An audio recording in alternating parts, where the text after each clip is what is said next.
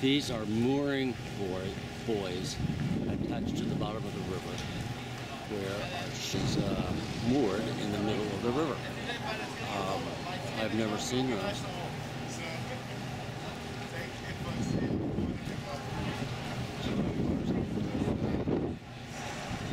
And the reason we can dock out here in the middle of the river is that there are these anchor buoys, which I has been explained to me that they are that these things to which our ship is attached, and there's one at all four corners, are actually tied to the bottom of the river securely.